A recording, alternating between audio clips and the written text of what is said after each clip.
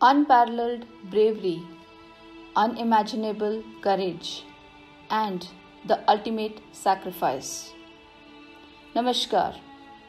On occasion of Independence Day, it is a privilege to talk about the brave heart of 1971 India Pakistan Battle of Basantar.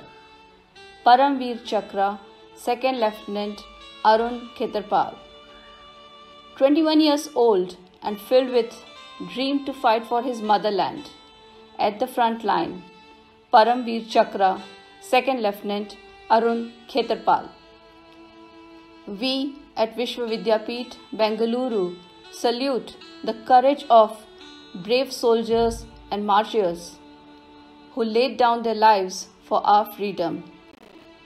I, Aarti Rao, am proud to present the story of the man who even the enemy saluted, Paramveer Chakra, Second Lieutenant Arun Khetarpal. Second Lieutenant Khetarpal was born on 14th October 1950 in Military Hospital, Pune, to Brigadier M. L. Khetarpal and Mrs. Maheshwari, a family with prestigious army background. It was natural for Arun to be inclined to join the armed forces. He studied from the Lawrence School, Sanavar, and joined the National Defense Academy in June 1967. He graduated from Indian Military Academy and was commissioned into the 17 Poona Horse on 13th June 1971. War clouds loomed at the horizon during 1971 war, Second Lieutenant Khetarpal was undergoing the Young Officers course in Ahmednagar. He was immediately recalled from the course to join his unit to take part in the famous Battle of Basantar in Shakargarh sector. On December 16, 1971, Pakistan planned to attack Shakargarh sector on western India.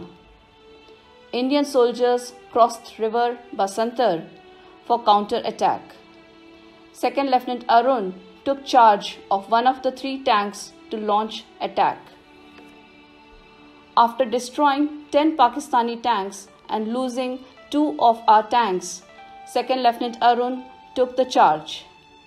He fought a head on head battle alone, destroying three more tanks. His commanding officer ordered him to leave his burning tank, but he denied, saying, No, I will not abandon my tank.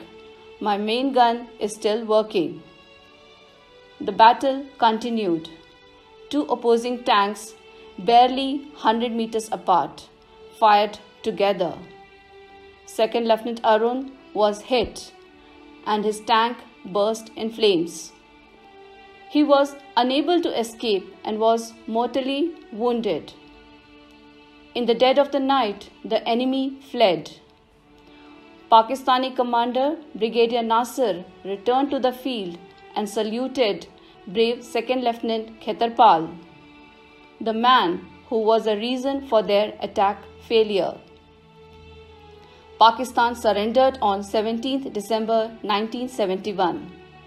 Second Lieutenant Arun's body and his tank Famagusta, which were captured, were returned to the Indian Army. On 17th, he was cremated near Samba district and his ashes were sent to his family.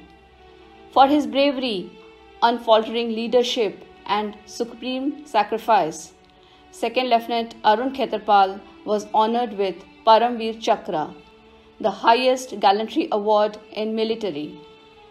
His story is one repeated to generations of officers.